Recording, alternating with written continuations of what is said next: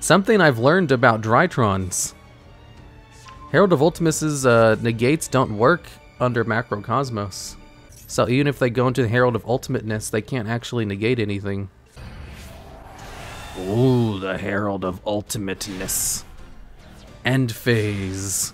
That's a nice Herald of Ultimateness you have there. It would be a shame if someone were to tribute it for Ariza the Storm Monarch.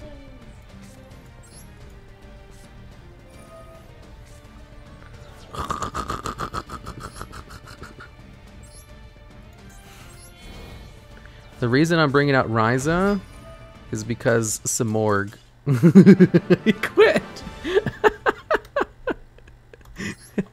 That's 2-0 against Drytron with this deck.